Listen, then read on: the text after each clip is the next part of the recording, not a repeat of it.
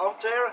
I'm uh, standing here with uh, Matt Robinson. He did uh, what you call it, uh, ex- uh, exceptional speech yesterday. Was it? Uh, 5.0. 5.0 was a really nice presentation about uh, about the evolution of uh, technical diving and he took us on a journey from his uh, beginning of, of diving and uh, and uh, led us into the the, the, the passion side.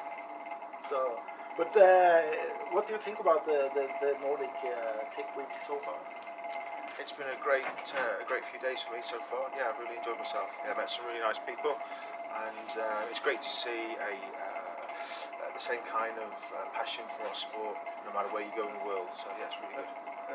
This is the first time we are launching this uh, this uh, Tec Week, and hopefully we're gonna continue and, and so. And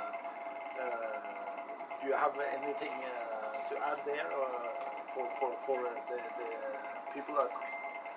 Are Yeah, absolutely. uh, Yeah, take advantage of uh, of coming to events like this because they are uh, too few and far between, uh, and it's great where you can come here, meet like-minded people, and really improve on your own abilities, your own education, and uh, generally have a, a real good time.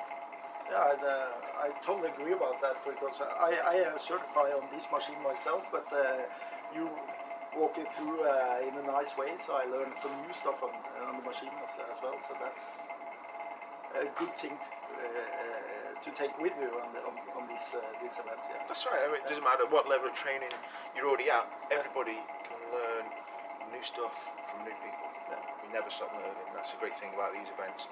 You can come and learn, enjoy, and, and take away safe, uh, safe tips for our uh, love of our sport. Yeah. We are going to have the next one uh, in in uh, in uh, Helsingør, Denmark, uh, in September, and uh, the rumors say you will be there as well. Can you confirm? Yeah, Uh, definitely there. Put in my calendar. I will be there. yeah, looking forward to that.